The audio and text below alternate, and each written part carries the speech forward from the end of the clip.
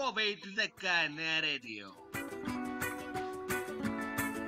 Μαζί σας 24 ώρες το 24ωρο γεμάτα από μουσική και από τις εκπομπές μας. Συντονιστείτε στο καλύτερο ιντερνετικό ραδιοφωνό της χώρας. COVID-19 Radio. Συντονίσου και εσύ μαζί μας. Κυριακή 21 Ιούνιου 2020 Ευρωπαϊκή ημέρα μουσικής Δήμος Αλεξανδρούπολης Σύλλογος Μουσικών Αλεξανδρούπολης Zion's Extreme Mix.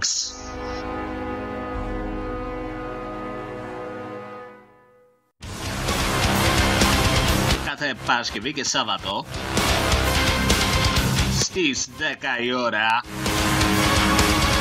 ο Χρήστος Δούκας μόνο στο COVID-19 Radio. Tune in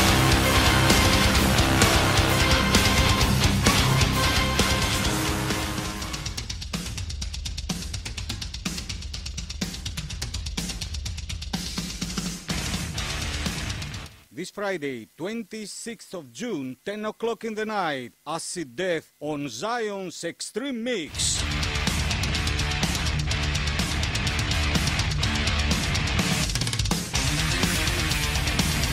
Ladies and gentlemen, Savas Bettinis of Acid Death on a special interview.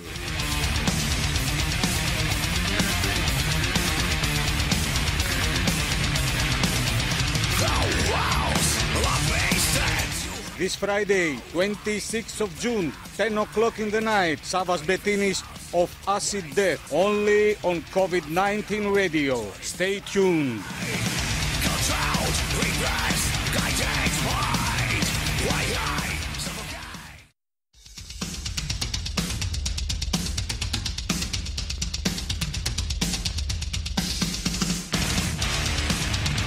Αυτή την Παρασκευή, 26 Ιούνιου, 10 το βράδυ. Η Acid Death στην εκπομπή Zion's Extreme Mix.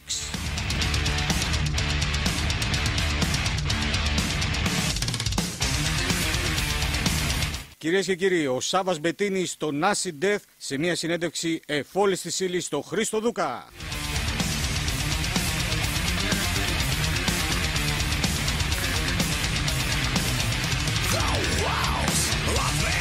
Αυτή την Παρασκευή, 26 Ιούνιου, 10 το βράδυ, Σάβας Μπετίνης και Acid Death, μόνο στο COVID-19 Radio. Συντονιστείτε.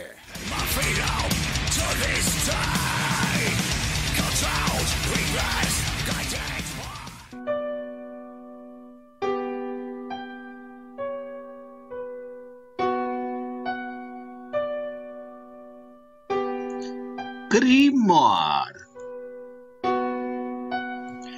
Κάθε Κυριακή πρωί, 11 με 1, ο Χρήστος Δούκας θα σας κρατάει στροφιά για ένα δίωρο γεμάτο από ποίηση. Μόνο στο COVID-19 Radio.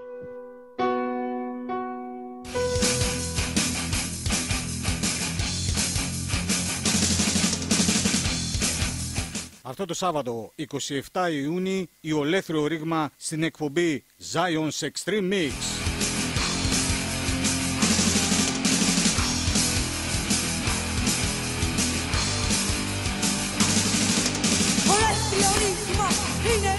Κυρίες και κύριοι, ο Νίκος τον ολέθριο ρήγμα σε μια συνέντευξη εφόλης της ύλης στο Χρήστο Δούκα.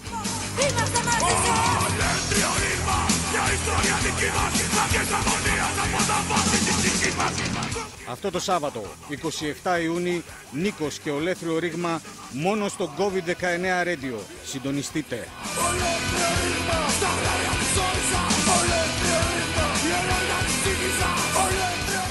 Κυρίες και κύριοι, ο Χρήστος Δούκας.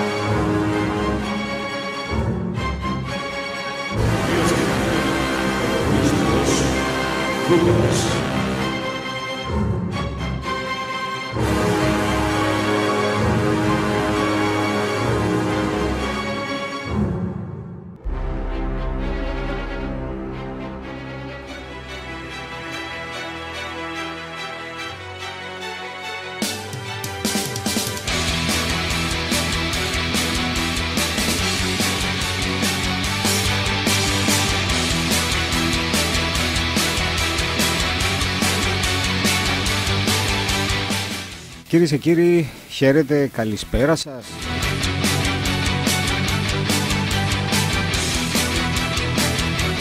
Σάββατο, σήμερα 20 Ιούνιου, μία μέρα πριν από την ε, Ευρωπαϊκή ημέρα μουσικής. Και είμαστε εδώ συντονισμένοι στο COVID-19 Radio, ακούτε την εκπομπή Zion's Extreme Mix, σήμερα είμαστε μεγάλο παρεάκι και εδώ πέρα αλλά και εκεί εσείς που μας ακούτε είτε μέσα από το facebook είστε ήδη πάρα πολύ. Γεια σου Παναγιώτη. Είτε εδώ πέρα μέσα στον σταθμό που έχω δει ότι είστε συντονισμένοι από παντού και από πάρα πολλές χώρες του εξωτερικού.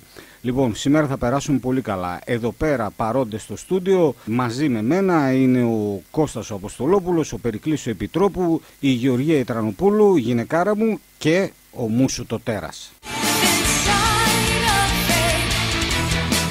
Έτσι λοιπόν η ιστορία μας ε, σήμερα έχει να κάνει με τους Dim Light.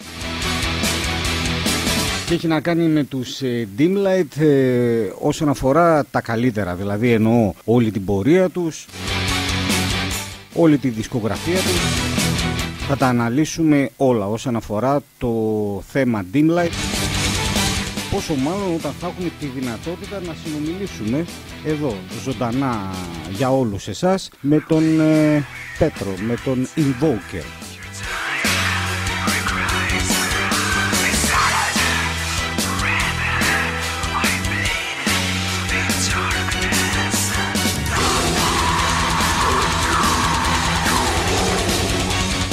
Λοιπόν, έτσι έπρεπε να ξεκινήσουμε. Πάμε πίσω λεπτή στην αρχή στο πρώτο τους άλμπουμ Obdenebration, έτσι ονομάζεται το άλμπουμ. Εμείς ακούμε το ομώνυμο τραγούδι, το Dim Light.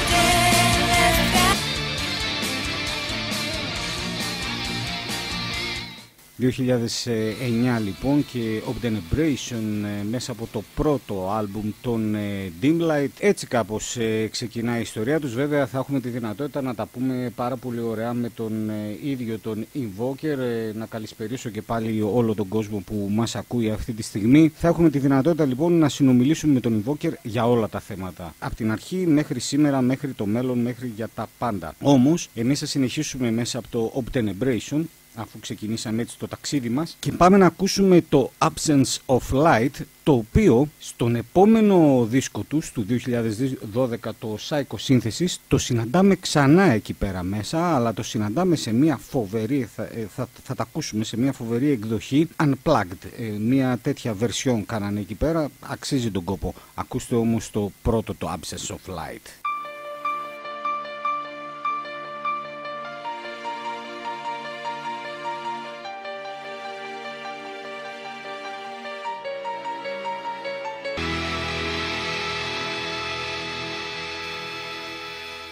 Αυτή ήταν λοιπόν η Dim Light. Σήμερα είναι η εκπομπή μας αφιερωμένη στους ε, Dim Light σε ένα ταξίδι που θα κάνουμε από την αρχή μέχρι το τέλος. Στους Dim Light θα περάσουμε στο δεύτερο άλμπου του, στο Psycho Synthesis. Θα ακούσουμε αυτό που σας ε, τάξαμε προηγουμένως, το Absence of Light θα ακούσουμε, αλλά είναι το bonus αυτό, έτσι, είναι acoustic η version, οπότε απολαύστε το και έχω την εντύπωση ότι όσο θα το απολαμβάνετε εσείς εγώ θα κάνω την κίνηση έτσι ώστε να μπορέσω να επικοινωνήσω με τον Invoker για να μπορέσουμε να συνομιλήσουμε μαζί, να έχουμε έτσι μια ωραία και ζεστή κουβέντα όπως με όλους τους καλεσμένους εδώ πέρα στη συγκεκριμένη εκπομπή. Πάμε να απολαύσουμε έτσι κάτι ακουστικό, να χαλαρώσουμε πριν μπούμε για τα καλά στο θέμα μας.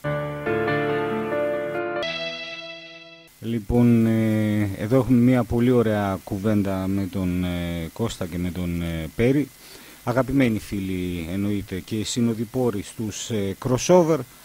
Εμείς συνεχίζουμε βέβαια την εκπομπάρα μας εδώ πέρα με Dim Light. Σήμερα έχουμε περάσει στο Psycho Synthesis του 2012 και θα περάσουμε σε ένα τραγούδι το οποίο είναι ξεχωριστό θα λέγαμε, είναι το Cardinal Sins το οποίο συμμετέχει βέβαια και ο Σπύρος των ε, Septic Flesh. Πάμε να τα ακούσουμε και αμέσως μετά ο Invoker ζωντανά εδώ στην ε, εκπομπή μας. Πάμε.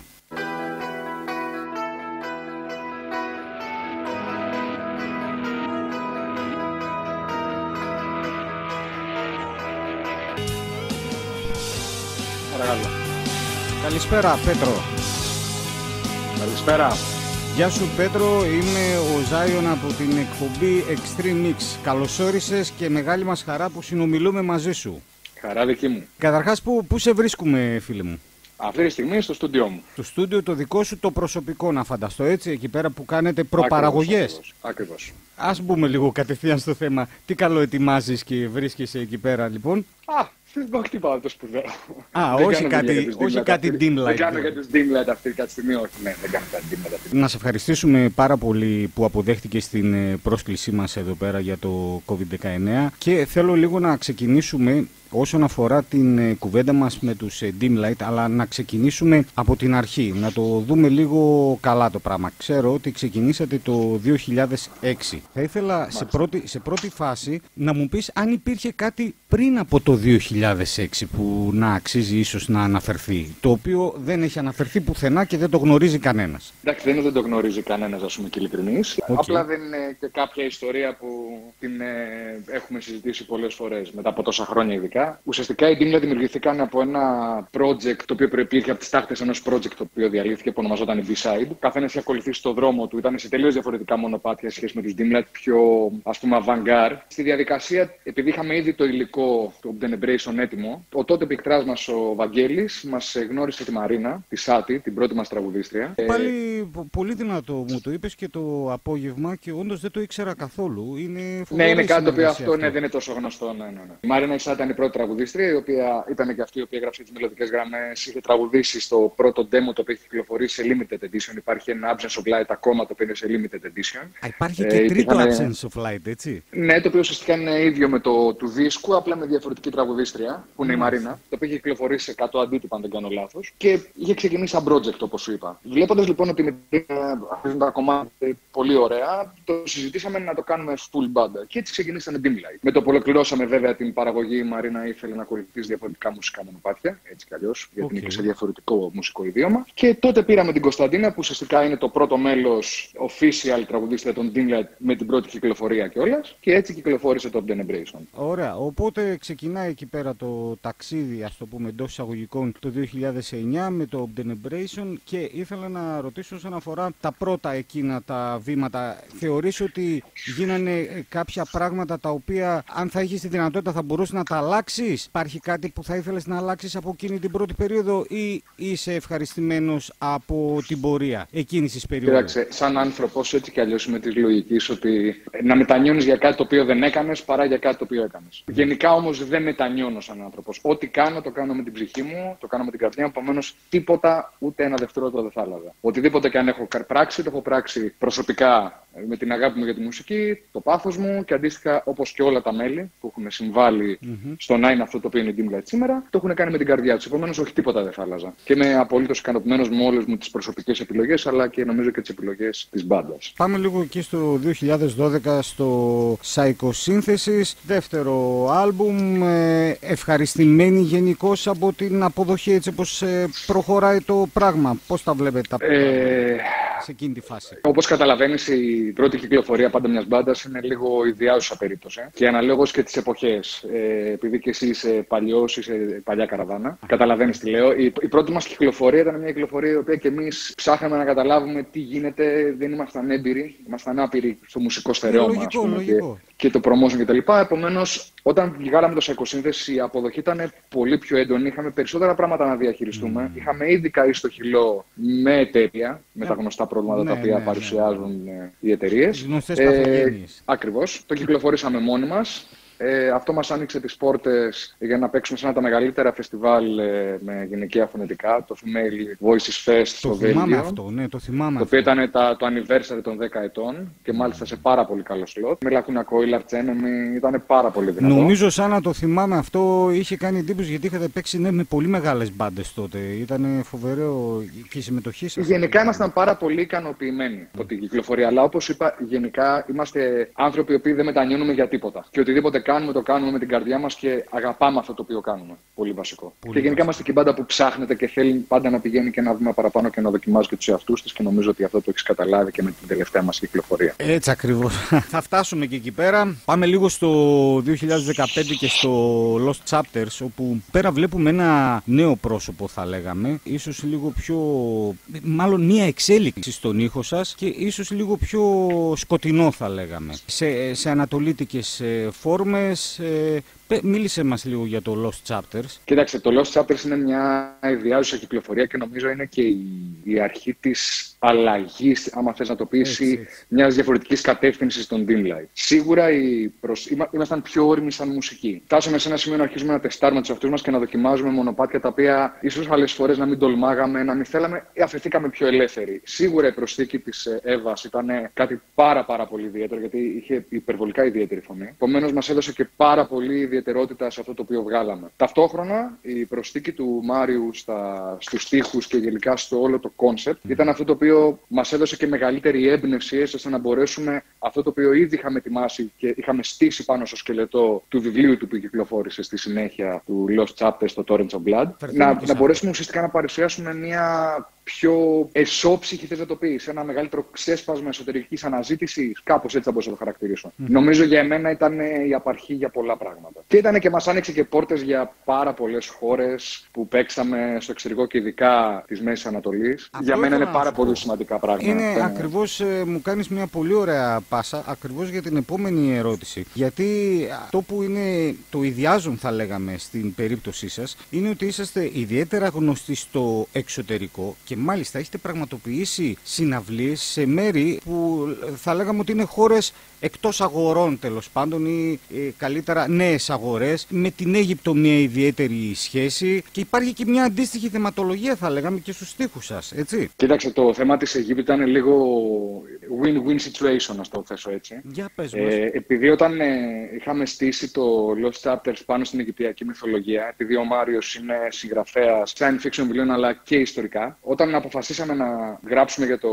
για, την, για την αρχαία Αίγυπτο και να πάρουμε στοιχεία από τη μυθολογία της και να φτιάξουμε ένα πιο twisted version μιας ιστορίας της θεάς Χάθορ, με το που το μάθανε αυτό οι Αιγύπτιοι, μας προσέγγισε ένα από τα μεγαλύτερα, βασικά το μεγαλύτερο φεστιβάλ της Μέσης Ανατολής, το Metal Blast Festival, το οποίο ο διοργανωτής ήταν εξετρελαμένο ότι δεν πίστευε ότι, ότι κάναμε κάτι τέτοιο, γιατί είναι μια πολύ σκοτεινή ιστορία που είναι γραμμένη και στα πρώτα πυραμιδικά κείμενα. Και εντυπωσιάστηκε τόσο πολύ και έτσι ξεκίνησε η επαφή μας με την Αίγυπτο. Η οποία αυτή μας άνοιξε και πόρτες για το Ντουμπάι και νομίζω η μεγαλύτερη κατάκτηση ήταν η Ιορδανία, γιατί δεν υπήρχε μέχρι τότε ε, Ιορδανία, metal banda ε. που να έχει Πω, πω, πατήσει στην φοβερό. Ιορδανία. Ε, ήμασταν, ναι, ήμασταν η πρώτη μπάντα η οποία είχε πατήσει, ε, ε, νομίζω παγκοσμίως. Για πες μας στην λίγο, α, μεταξύ μπράβο, πες μας στην λίγο για τις Ιορδανία. εντυπώσεις σου από το live στην Ιορδανία. Είναι, ξέρεις, πολύ... Δεν νομίζω να υπάρχει άλλη... Όντως, άλλη μπάντα δεν έχει πάει στην Ιορδανία, έτσι. Για metal μπάντα μιλάμε. Για έτσι. metal μπάντα μιλάμε, ναι. Ναι, ναι, βέβαια. ναι. Πολύ ιδιαίτερο. Να βλέπεις gothic ντυσίματα, να βλέπεις νέους με σαρίκια. Ήταν λίγο πολύ περίεργη η ψυχολογία. Είχαν έρθει από εφημερίδες. Σας, σας αποδεχτήκανε όμως ε, πολύ θερμά, έτσι, με Ναι, και ισχύει αυτό, ισχύει φιλόξενα, αυτό. βέβαια, βέβαια. Ισχύει αυτό, ναι, ναι, ναι.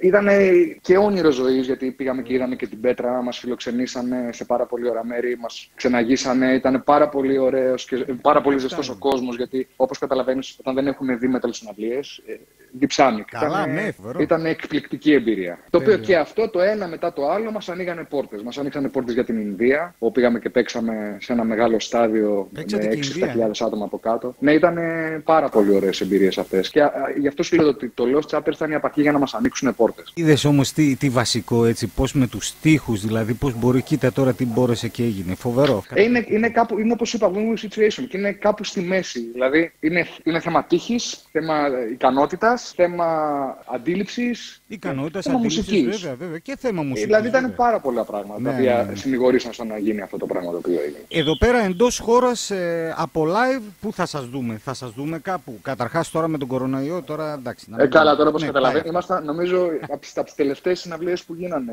στη, στη metal σκηνή ήμασταν εμείς. Το προλάβατε, νομίζω 7 Μαρτίου. Ναι, 7 Μαρτίου κάναμε μια συναυλία. Νομίζω ότι ήμασταν τις τελευταίες συναυλίες που γίνανε. Ναι, με την επόμενη εβδομάδα νομίζω ξεκίνησε το lockdown. Άκου κάτι τώρα. Ναι, α, μπράβο, 12 Μαρτίου ένα τέτοιο. Αλλά γενικά στην Ελλάδα είναι, ε, η σκηνή είναι πάρα πολύ δύσκολη. Ο ανταγωνισμός είναι τεράστιος. Τεράστιο. Έχουμε τεράστια προβλήματα, θεωρώ εγώ τουλάχιστον προσωπικά, στη χώρα μας με το θέμα της μουσικής και της της μουσικής βιομηχανίας και γενικά των συναυλίων. Γίνονται άπειρες συναυλίες που έχουν άπειρα συγκροτήματα και πάρα πολύ αξιόλογα ταυτόχρονα συγκροτήματα, τα οποία δεν έχουν ε, τον χώρο να αναδειχθούν. Ο κόσμος τι να πρωτοδεί, πού να πρωτοπάει. Υπάρχει και θέμα υποστήριξης. Υπάρχει το έτσι. κλασικό να φάμε την κατσίκα του. Τα, τα ξέρεις τώρα. Υπάρχει αυτά. και αυτό, ναι, δυστυχώς. Πάμε λίγο στο 2018. Αυτό που με εξέπληξε εμένα τουλάχιστον προσωπικά είναι ότι δεν μιλάμε για.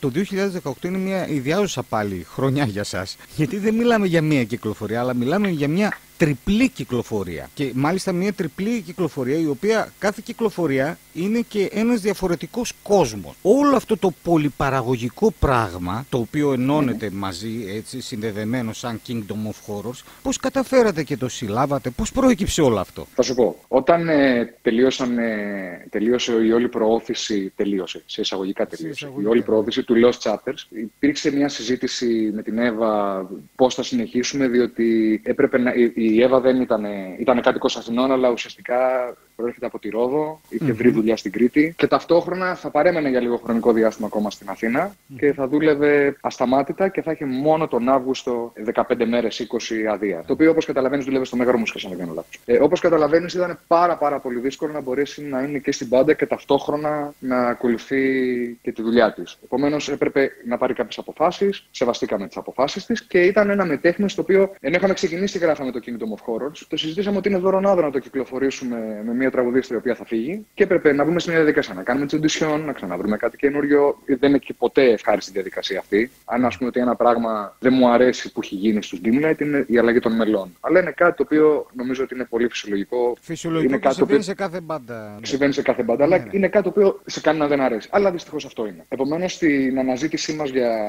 τραγουδίστρια ενδιάμεσα, είχαμε άπλετο χρόνο να ξεσπάσουμε δημιουργικά μουσικά. Επίσης, μην ξεχνάς ότι όταν μιλήσαμε με τον Μάριο και μας έδωσε το σκελετό της ιστορίας του Kingdom of Horrors, είχαμε αντιμετωπίσει ήδη το. και είχαμε μάθει από το πάθημα του Lost Chapters ότι δεν γίνεται μέσα σε 10 κομμάτια να καλύψει μια ιστορία τεραστίων διαστάσεων και είχαμε περιοριστεί πάρα πολύ στο Lost Chapters. Έτσι αποφασίσαμε να βρούμε έναν τρόπο να μπορέσουμε να εξελίξουμε την ιστορία όσο περισσότερο μπορούμε, τουλάχιστον σαν soundscape. Να μην, το, να μην είναι ομιλητικό, δηλαδή να μην είναι στοιχουργικό μόνο. Ε, να μπορέσουμε μουσικά να το ντύσουμε αυτό το πράγμα. Και επειδή πέσανε και διάφορες ιδέες και πάντα είχα όνειρο εγώ προσωπικά να κάνω κάτι διαφορετικό. Ότι και θα λέω κάτι διαφορετικό δεν είναι ότι εφήβραμε τον τροχό, έτσι. Να κάνουμε κάτι ιδιαίτερο Ναι, στη ρε μουσική. παιδί μου, κάτι ιδιαίτερο. Ναι, Το ναι. οποίο ήταν να βγα... ήθελα να κάνω επιτραπέζο παιχνίδι, ήθελα να κάνω ταινία, ήθελα να κάνω πάρα πολλά πράγματα. Αυτό το οποίο φυσικά ήταν το μοναδικό εφικτό, που δεν ήταν και εύκολο βέβαια, ήταν να κάνουμε το επιτραπέζο παιχνίδι. Α, Επειδή ήθελα να σε κάναμε ρωτήσω το για αυτό, επιτραπέζο για, παιχνίδι. για το Secrets of Firkala. Ακριβώς. Επειδή λοιπόν δημιουργήσαμε το, το επιτραπέζιο παιχνίδι, κάπως έπρεπε όλα αυτά να δέσουν. Και επειδή είναι πάρα πολύ πολύπλοκη η όλη η ιστορία του Kingdom of Horrors, αποφασίσαμε ότι ναι, είναι κόντρα με το, τη χρονιά και τις εποχές που ζούμε, που είναι όλα ψηφιακά, να ξεκινήσεις να κάνεις τριπλή κυκλοφορία με επιτραπέζιο παιχνίδι και βιβλίο. Και βιβλίο. Αλλά δεν μας ενδιαφέρει γιατί εμείς εκφραστήκαμε.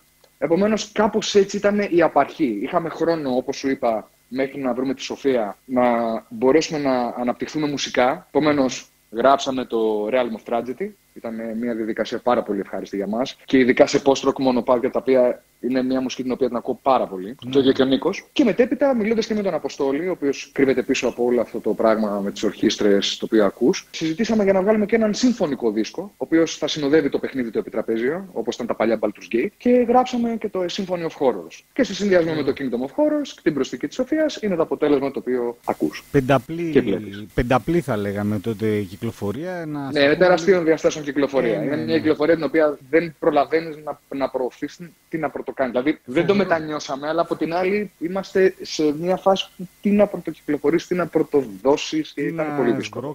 Ε, να αναφερθούμε λίγο όσον αφορά την ε, νουβέλα που κυκλοφορήσατε, το Bowls of Madness, το οποίο εντάξει ασχολούμαι και εγώ βέβαια με την ε, ποίηση και με το ε, γράφω και εγώ τέλος πάντων. Θα ήθελα να, να μας πεις λίγο σε αυτή τη νουβέλα πάνω πού βασίζεται η νουβέλα συγκεκριμένη, είναι η προέκταση της ε, ιστορίας. Είναι αυτό το οποίο σου είπα. Το ίδιο πράγμα έχει γίνει και στο Lost Chapters. Επειδή ήταν πάρα πολύ δύσκολο όλη την ιστορία να τη χωρέσουμε μέσα σε 10 τραγούδια, όταν συζητήσαμε με τον Μάριο, επειδή ποτέ δεν μου άρεσε εμένα να περιορίζω τον στιχουργό, γιατί είναι, το, είναι πολύ, δηλαδή είναι έμπνευση αυτό το πράγμα. Δεν μπορώ να του πω θα, θα το περιορίσω σε 10 τραγούδια. Όταν έγραψε λοιπόν τους στίχους, του λέω Αγορίνα, εκφράσου. Πώς μπορούμε αυτό το πράγμα να το, το γεμίσουμε, να, να, να, να, βγει όλη η ιστορία, γιατί τι να πρωτοποιεί σε 10 τραγούδια. Mm. Σε, δηλαδή και πάλι είναι ο καταλήξεις πρέπει να βάλεις, είναι το σκεπτικό, δεν βγαίνει. Mm. Εν πάση περιπτώσει και στο Lost Chapters βγήκε το βιβλίο το οποίο ουσιαστικά είναι μια πλήρης επεξήγηση. Είναι ένα μυθιστόρημα, μια μικρή νουβέλα. Mm. Το ίδιο πράγμα έγινε και στο Kingdom of Horrors. Το οποίο ναι, μεν ακούς την ιστορία, ναι, μεν την ζεις παίζοντας το παιχνίδι, αλλά διαβάζοντας το βιβλίο έχεις πλήρη, πλήρη εικόνα του τι είναι αυτό το οποίο κάνεις, τι είναι η Ιρκά Λακάρο, ο κάτω κόσμος, ο πάνω κόσμος, είναι μορενσία και όλη η ιστορία του Αθάνου, του πρωταγωνιστή της ιστορίας είναι, είναι πάρα πολύ μεγάλο. Γιατί ταυτόχρονα υπάρχει και το, η επεξήγηση και στο παιχνίδι, γιατί υπάρχει και το rule book του yeah. Ναι. παιχνιδιού, το οποίο και αυτό έχει μέσα πληροφορίες για πράγματα που αντιμετωπίζει ο Αθάνου. Είναι μια τεραστίων διαστάσεων ιστορία. Δεν είναι κάτι τόσο απλό το οποίο δεν μπορώ να το εξηγήσω μέσα σε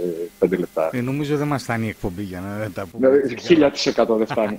Δεν φτάνει. Αλλά υπάρχουν όλες αυτές τις πληροφορίες και στο site μας και στη σελίδα μας στο Facebook. Μπορεί κάποιος να κατεβάσει, υπάρχουν PDFs τα οποία είναι δωρεάν να τα κατεβάσει που μιλάει για την ιστορία. Παρουσιάζουμε το χάρτη, όπου πάνω στο χάρτη έχουμε τα μέρη του. Παρουσιάζουμε όλη την εικόνα του κόσμου του οποίου πραγματευόμαστε το Kingdom of Horrors και έχουμε όλες τις πληροφορίες σε PDF και φυσικά υπάρχουν τα βιβλία, τα τραγούδια, yeah. το παιχνίδι. Να σε ρωτήσω λίγο όσον αφορά τα, τα γυναικεία φωνητικά. Έχουν περάσει αρκετές, θα λέγαμε αρκετές, τρει-τέσσερι τέλος πάντων γυναικείε παρουσίε από τους ε, Dim Light. Η κάθε μια βέβαια με το δικό της. Ε, με το δικό της χαρακτήρα. Α, έτσι ακριβώς. Τι ρόλο παίζουν όμως γενικώ τα γυναικεία φωνητικά στη μουσική των Dim Light; Γιατί βλέπουμε ότι ενώ ναι, μεν, okay, μπορεί να αλλάζετε τραγουδίστρια, παρόλα αυτά ε, τα έχετε παντού σε όλες τις κυκλοφορίες σας. Άρα κάτι σημαίνει για σένα. Εκτός από την τελευταία μας κυκλοφορία. Ναι. Τη διασκευή των Black Sabbath. Η μπάντα έτσι κι αλλιώς ξεκίνησε σαν ε, μια female fronted metal band και δεν μ' αρέσουν οι ταμπέλες. Ναι. Είναι, αλλά είναι πολύ κλεισέ αυτό το οποίο σου λέει, αλλά είναι πραγματικότητα. Αλλά επειδή κάπως πρέπει να χαρακτηρίσει τη μουσική σου, γιατί όλοι σου λένε χαρακτηρίσει τη μουσική σου, δεν θα πω okay. female and ναι, male ναι. fronted band.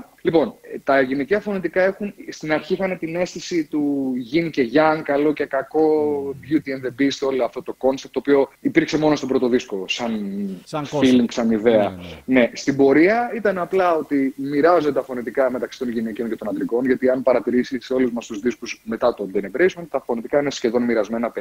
Σε μερικά είναι 60-40, αλλού είναι 70-30, αλλά γενικά ο μέσος όρος είναι 50-50. Α το θέσουμε κάπως έτσι. Δεν είναι το ότι γίνεται στοχευμένα αυτό, είναι το ότι το κάθε ένα κομμάτι αυτό το οποίο χρειάζεται θα πάρει. Το καλό το οποίο έχουμε σαν μπάντα, θεωρώ εγώ, που μας βοηθάει ενώ έχουμε τα όπλα, είναι το ότι έχουμε τη συμφωνική ορχήστρα, έχουμε πάρα πολλά όργανα, έχουμε τις κιθάρες, έχουμε το μπάσο, έχουμε τα τύμπανα, έχουμε τις, ε, την αντρική φωνή, τη γυναικεία φωνή. Επομένως, αναλόγως στα συναισθήματα τα οποία θέλουμε να παρουσιάσουμε, την επιθετικότητα, τη γλυκύτητα, την αγριάδα, όλο αυτό το πράγμα, μπορούμε να το εκφράσουμε αναλόγως στον τραγουδιστή, τα όργανα τα οποία χρησιμοποιούμε, το blend των οργάνων των οποίων κάνουμε.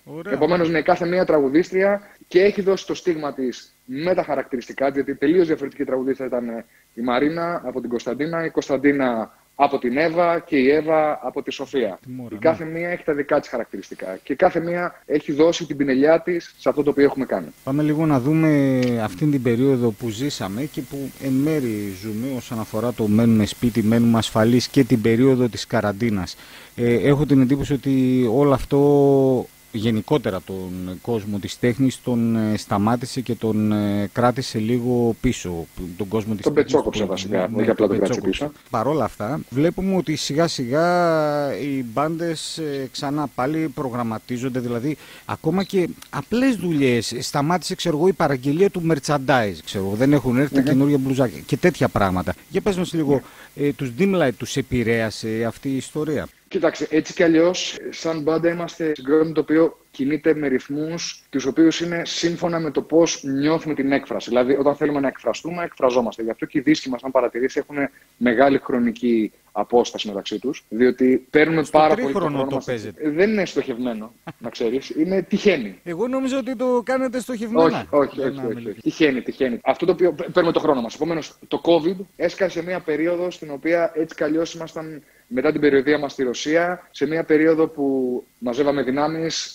σκεπτόμασταν τα επόμενα βήματά μας. Υπήρχαν ήδη κάποιες ιδέες του πώς να προχωρήσουμε, γιατί όπως σου είπα και στις αρχές στη συζήτησή μας, το σημαντικό για μας είναι να εκφραζόμαστε. Γι' αυτό και θα βλέπεις από τους Dreamlight πάντα πράγματα τα οποία, αν θες να το πεις προκαλούν, δεν ξέρω, δηλαδή και η διασκευή που κάναμε του τον Black Sabbath ήταν πολύ ιδιαίτερο το ότι ξαφνικά μια μπάντα με γυναικεία φωνητικά έβαλε μόνο αντρικά και σε πιο επιθετικό ύφος και διασκεύασε Black Sabbath ενώ είναι symphonic death metal, κάτι δεν πάει καλά εδώ πέρα. Γενικά η λογική μας είναι το ότι μουσική είναι και τη μουσική την βγάζεις από μέσα σου όπως είναι. Επομένως, Ωραία. πάντα ήμασταν σε μια φάση του χαλαρά. Επομένως, μας πέτυχε σε μια περίοδο πολύ χαλαρή, ευτυχώς, που δεν είχαμε μπροστά μας κάτι άμεσο που θέλαμε να τρέξουμε. Ήμασταν σίγουρα στις συζητήσεις για συναυλίες τα λοιπά. Όλα πάγωσαν φυσικά, όπως καταλαβαίνει. Δεν μπήκα καν στη διαδικασία να ψάξω κάτι παραπάνω, γιατί δεν υπάρχει κάτι να ψάξω. Πάγωσαν όλα. Αυτό είναι που σου λέω, πετσόκοψα τα πάντα. Γιατί και να θέλεις να κάνεις κάτι και να επενδύσεις, γιατί η κυκλοφορία μας ναι, μεν μπορεί να έχει περάσει ένας χρόνος, αλλά ουσιαστικά το 19 είναι, τέλος του 18. Αλλά είναι σε μια φάση στην οποία μας πάγωσαν όλα γιατί δεν, δεν μπορούσαμε να κάνουμε τίποτα από συναυλίες. Όπως καταλαβαίνεις, ήταν φύσει αδύνατο. Επομένως, δεν μας βρήκε σε μια φάση τέτοια. Δεν μας έκανε και τόσο μεγάλο κακό να σου πω. Οκ, οκ, Διαφορετικά. οκ. Όσον αφορά μ, τα social media, ποια είναι η σχέση σας με τα social media, πιστεύεις ότι βοηθάνε ε, στην εξάπλωση του ονόματος της μπάντας. Έτσι όπως έχουν γίνει τώρα πια, το μοναδικό το οποίο εγώ τουλάχιστον βλέπω, γιατί έχω περάσει αρκετά χρόνια στη μουσική βιομηχανία για να μπορώ να έχω μια άποψη. Αυτό το οποίο θα σου πω είναι το ότι ό,τι πορτοφόλι έχεις, αυτό παίρνεις. Όλα έχουν γίνει λεφτά. Ένα ευρώ είναι όλα. Ή δολάρια αντίστοιχα. Είναι πάρα πολύ δύσκολη η κατάσταση. Σίγουρα τα social media βοηθάνε, αρκεί να έχει λεφτά. Επομένως, ό,τι πληρώνεις, παίρνεις. Αλλά μην ξεχνάμε το ότι ο μουσικός είναι αυτός ο οποίος δημιουργεί κάτι για να εφράνει τις ψυχές των άλλων και οι άλλοι να τον υποστηρίξουν. Και καταλήγει ο μουσικός να υποστηρίζει τον εαυτό του για να. Για να δεν καταφέρει ξέρω να κι εγώ ζήσει. τι. Τι να ζήσει, δε, δηλαδή τώρα Καλά, το να ναι. ζήσει από τη μουσική είναι αστείο. Ε, απλά να μπορεί να παρουσιάσεις τη δουλειά σου. Πράγμα το οποίο είναι επίση να δει ότι ο ανταγωνισμός είναι τεραστίων διαστάσεων εκεί πέρα έξω. Ναι, ναι. Μιλάμε ότι τα νούμερα για να κάνεις πράγματα από μια απλή διαφήμιση μέχρι. Δεν συζητάμε τώρα για συναυλίες και περιοδίε. Είναι αστεία, δηλαδή. Εντάξει, Δύσκολα, είναι ναι. πάρα πολύ δύσκολα. Βέβαια, από την άλλη, είναι όποιος πιστεύει, όποιος αρπάζει τις ευκαιρίες στα μαλλιά και όποιος επενδύει, εδώ πέρα είναι να κρυφεί το αποτέλεσμα. Εγώ θεωρώ το ότι όσο επενδύεις, όσο πιστεύεις και όσο χτίζεις, είναι όλα θέμα ανατροπίας, συμπεριφορών, παίζουν όλα ρόλο. Ε, Τα social media, λοιπόν, για να είμαι πιο συγκεκριμένος στην ερώτησή σου, ναι, Βοηθάνε. βοηθάνε, αρκεί να έχει λεφτά. Πάμε λίγο σε προσωπική ερώτηση. Αν είσαι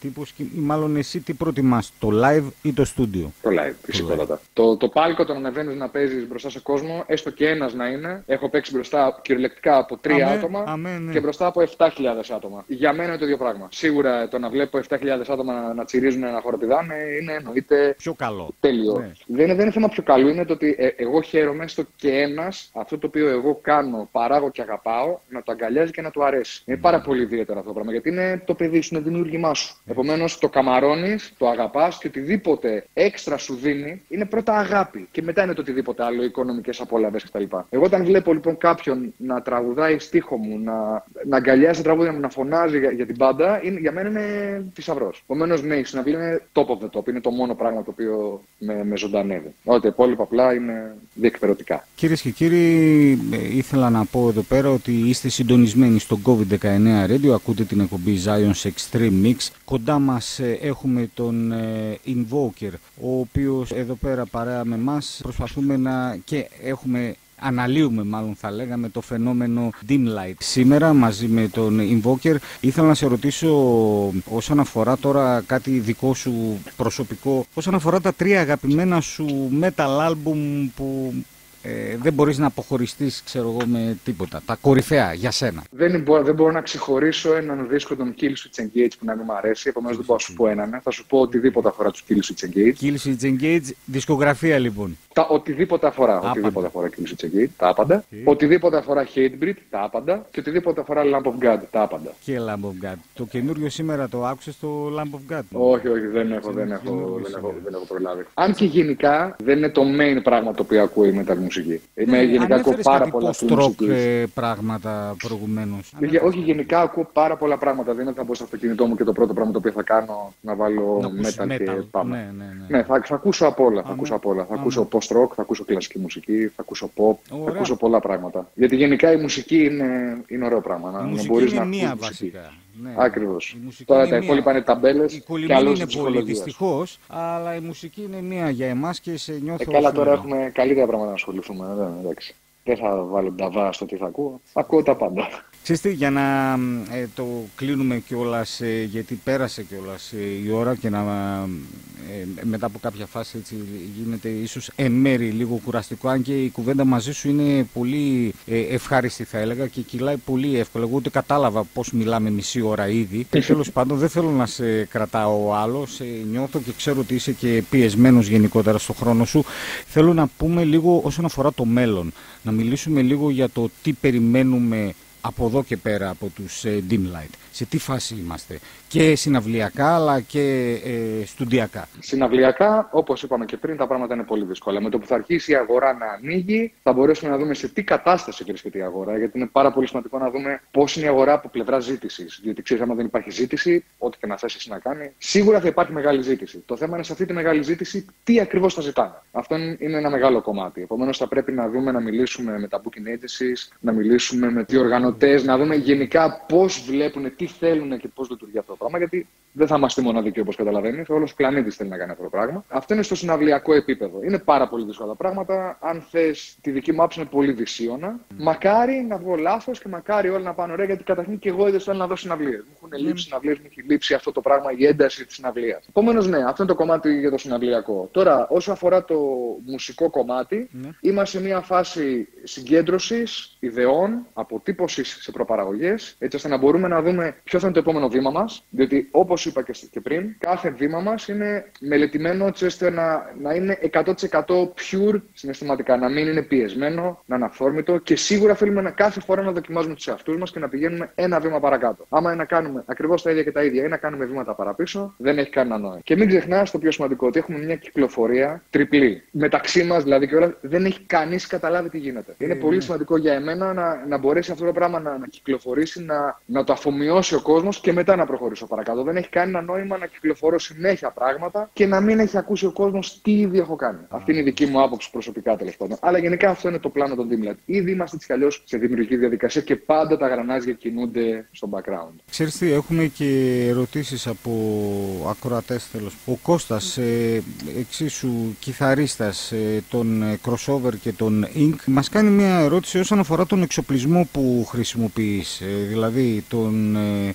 ενισχυτή σου, την κιθάρα σου ενδεχόμενα. Οπότε για πες μας λίγο. Για κιθάρα έχω μια custom made από τη 39 Custom Guitars, ε, από το Γιάννη το Σπανό. Μια εκπληκτική κιθάρα ε, που ενισχυτή χρησιμοποιώ τον Β52, τον ΑΤΑΘ100, το Λαμπάτο, τον οποίο πιο πολύ το χρησιμοποιώ για ηχογραφίες γιατί είναι πάρα πολύ βαρύς και δεν πάω το κουβαλάω μαζί. μου. Ε, Αλλά γενικά είμαι πάρα πολύ απλός στο, στη συνδεσμολογία μου. Ένα πετάλι Mower για παραμόρφωση, ένα noise suppressor και αυτό ήταν. και κουρδιστήρι, ναι, προφανώς. Ε, καλά, ναι, Ε, προφανώς το κουρδί σύνταξη δεν χρειάζεται να το πω τώρα, εννοείται. Ωραία, ωραία, ωραία. Σε τι κούρδισμα παίζετε, ρωτάει εδώ, άλλος κιθαρίστας. Σε ρε κούρδισμα παίζουμε Ρε. και στο τελευταίο τραγούδι το οποίο κυκλοφορήσαμε ήμασταν σε drop. Λοιπόν, Invoker, κλείσε όπως θέλεις εσύ. Καταρχήν να σε ευχαριστήσω πάρα πολύ ε, για τη συζήτησή μας, ήταν, ήταν πολύ ευχάριστη. Και παιδιά, υγεία, προσοχή, πάνω απ' όλα και ακούτε μουσική. Δεν, δεν- δηλαδή, ακούτε μουσική, τίποτα άλλο. Στηρίξτε τον εαυτό σας, ακούστε μουσική. Δηλαδή, τι πιο ωραίο πράγμα από το να ακούς μουσική και να εφραίνεσαι. Υπάρχουν τόσοι, τόσα πολλά συγκροτήματα έξω, ακούστε μουσική. Έτσι λοιπόν θα κλείσουμε και εμείς με Πέτρο σε ευχαριστούμε πάρα πολύ για αυτή την κουβέντα που είχαμε. Εμείς θα ακούσουμε Να είσαι το Evoking the Hunter τώρα κατευθείαν καπάκι που ξέρω ότι είναι και προσωπικό σου αγαπημένο. Ε, Να το αγαπημένο μου κομμάτι. σε ευχαριστούμε πάρα πολύ για όλα και ευχόμαστε το καλύτερο δυνατό για τους Dimlight. Εδώ πέρα υπάρχει πάντα ένα βήμα για σας. Περιμένουμε τα επόμενα βήματα τα δικά σας βέβαια. Σε ευχαριστούμε πάρα πολύ Χρήστο, να είσαι καλά. Να είσαι καλά, να είσαι Γεια σου, γεια. Κυρίες και κύριοι, αυτός ήταν λοιπόν ο Invoker από τους ε, Dimlight σε μια όντως πολύ ωραία κουβέντα που είχαμε μαζί. Φιλική, ανθρώπινη, πάρα πολύ ωραία τα είπαμε. Εμείς τάξαμε σε εσάς το Evoking the Hunter μέσα από το Lost Chapters, ε, ένα από τα αγαπημένα τραγούδια του Invoker. Οπότε απολαύστε το και επανερχόμεθα.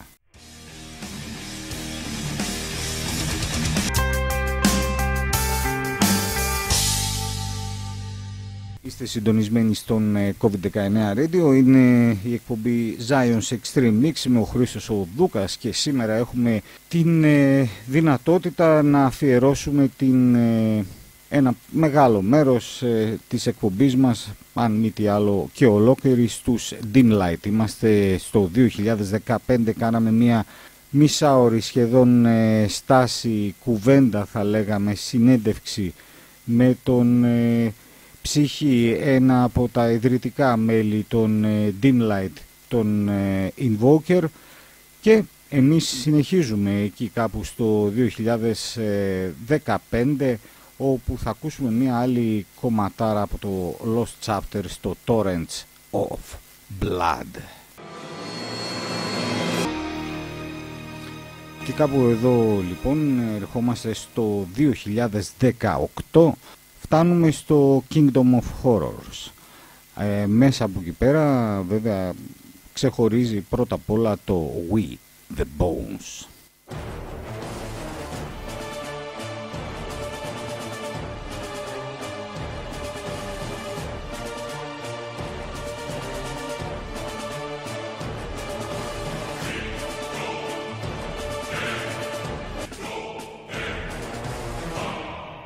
Εδώ είμαστε. Εδώ είσαστε κι εσείς, ε, συντονισμένοι στον COVID-19 Radio. Είναι η εκπομπή Zion's Extreme Mix. Ε, κοντά σας ο Χρήστος Οδούκας. Σήμερα έχουμε τη δυνατότητα να έχουμε ένα αφιέρωμα, θα λέγαμε, στους ε, Dimlight. να στείλω λίγο τα χαιρετίσματά μου σε όλους τους φίλους που μας ακούνε, σε όλους εσάς που είστε εκεί πέρα έξω και ακούτε COVID-19 Radio, τα φιλιά μας και τα χαιρετίσματά μας στον ε, Φάνη και στον ε, Μπουλέντ, τον ε, συμπαραγωγό, επίσης στον συμπαραγωγό τον Νίκο, αλλά και στην Εύη. Λοιπόν, εμείς συνεχίζουμε βέβαια. Από το Kingdom of Horrors θα επιλέξουμε άλλο ένα τραγούδι το οποίο επέλεξε ο ίδιος ο Invoker, δηλαδή είναι από τα θεωρητικά εντός εισαγωγικών βέβαια πάντα από τα αγαπημένα του. Αναφέρομαι στο Red King. Απολαύστε το.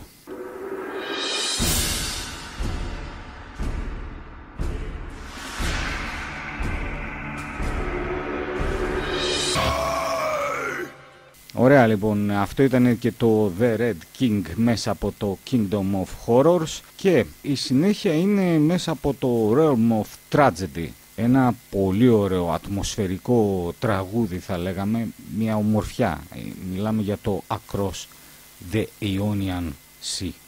Απολαύστε το κυρίες και κύριοι, είναι πολύ ωραίο τραγούδι.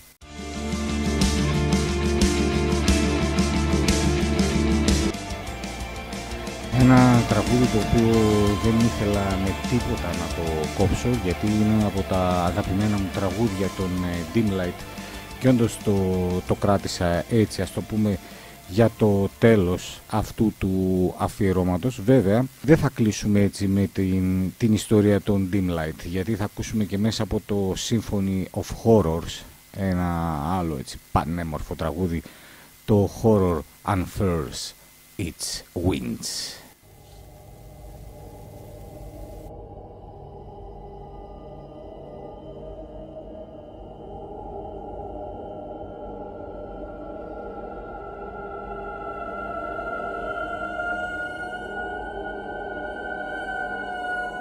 Σήμερα το ταξίδι μας στον ε, μαγικό κόσμο των Dim Light.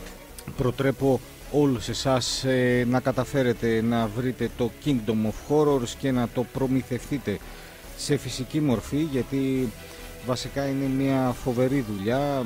Αν μπορείτε να βρείτε και τα τρία τα άλμπουμ θα ήταν ευχής έργων. Θεωρώ ότι πρέπει να τα έχετε για να μην πω ότι πρέπει να συνοδεύεται και από το επιτραπέζιο παιχνίδι και από το Bowels of Madness ε, τη νουβέλα που βγάλανε για το Kingdom of Horrors.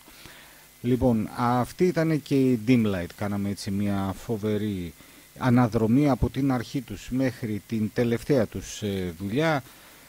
Είχαμε την ευκαιρία να συνομιλήσουμε με τον Invoker ε, σε μια κουβέντα θα έλεγα εφόλης της ύλης, όντως με πολλή θεματολογία. Αυτή ήταν ε, λοιπόν ε, για σήμερα κυρίες και κύριοι η εκπομπή μας, αυτό το δίωρο, το φοβερό δίωρο που περάσαμε μαζί όπως κάθε Παρασκευή και κάθε Σάββατο 10 με 12 έτσι και σήμερα ολοκληρώσαμε το αφιέρωμά μας στους ε, Dim Light ταυτόχρονα είχαμε μια καταπληκτική κουβέντα με τον τραγουδιστή και κιθαρίστα και ιδρυτή των ε, Dimlight με τον Invoker τον ε, Πέτρο όπου είχαμε μια κουβέντα εφόλης της ύλης θα λέγαμε. Σήμερα περάσαμε ιδιαίτερα καλά, ανανεώνουμε το ραντεβού μας για την ερχόμενη Παρασκευή με Σάβα Μπετίνη και Acid Death το ερχόμενο Σάββατο με Νίκο Απάτσι και Ολέθριο Ρήγμα καθώς και αύριο το πρωί μην ξεχνάτε συντονισμένοι εσείς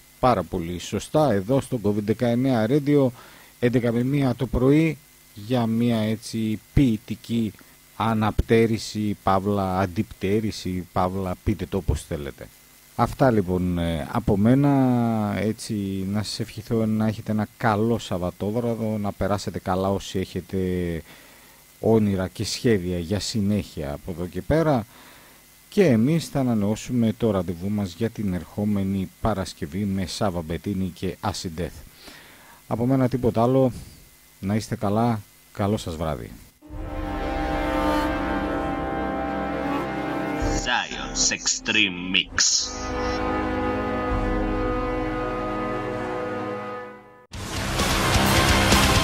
Κάθε Παρασκευή και Σάββατο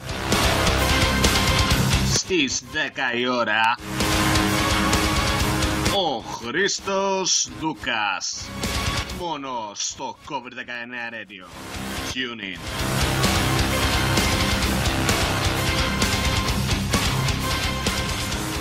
Κυριακή 21 Ιούνιου 2020 Ευρωπαϊκή ημέρα μουσικής Δήμος Αλεξανδρούπολης Σύλλογος Μουσικών Αλεξανδρούπολης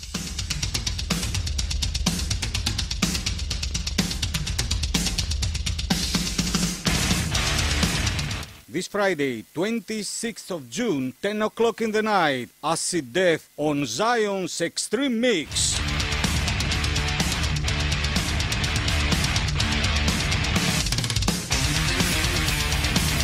Ladies and gentlemen, Savas Bettinis of Acid Death on a special interview.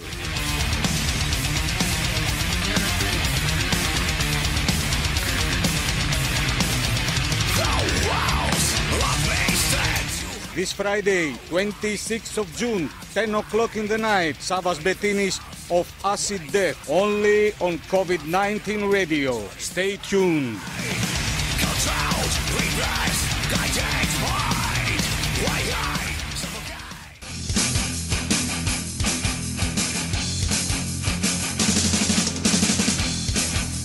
Αυτό το Σάββατο 27 Ιούνιου η ολέθριο ρήγμα στην εκπομπή Zion's Extreme Mix.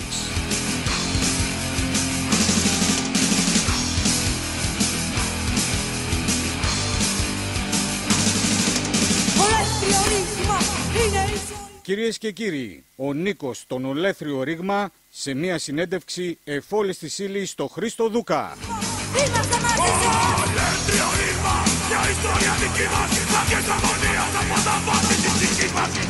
Αυτό το Σάββατο, 27 Ιούνιου, Νίκος και Ολέθριο Ρήγμα μόνο στο COVID-19 Radio. Συντονιστείτε.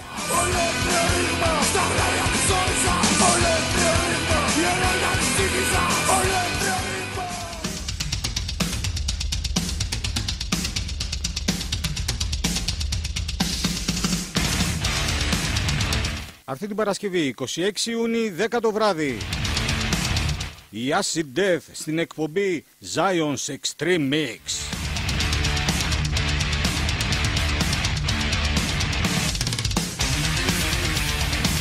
Κυρίες και κύριοι, ο Σάβα Μπετίνης στο Acid Death σε μια συνέντευξη εφόλης της ύλης στο Χρήστο Δούκα.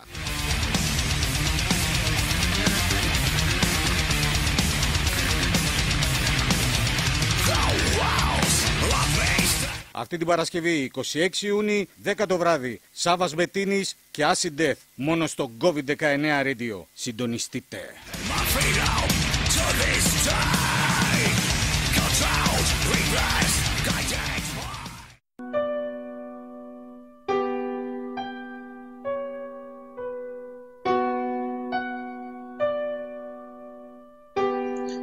Κρήμα! Κάθε Κυριακή πρωί, 11 με 1, ο Χρήστος Δούκας θα σας κρατάει στροφιά για ένα δίωρο γεμάτο από ποίηση. Μόνο στο COVID-19 Radio. Κυρίες και κύριοι, ο Χρήστος Δούκας.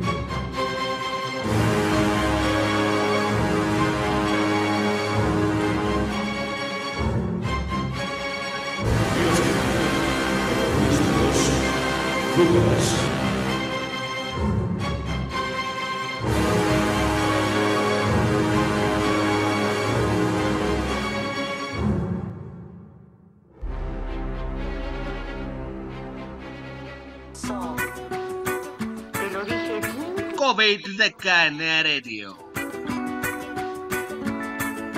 Μαζί σας 24 ώρες το 24ωρο γεμάτα από μουσική και από τις εκπομπές μας. Συντονιστείτε στο καλύτερο ιντερνετικό ραδιοφωνό της χώρας. COVID-19 Radio. Συντονίσου και εσύ μαζί μας.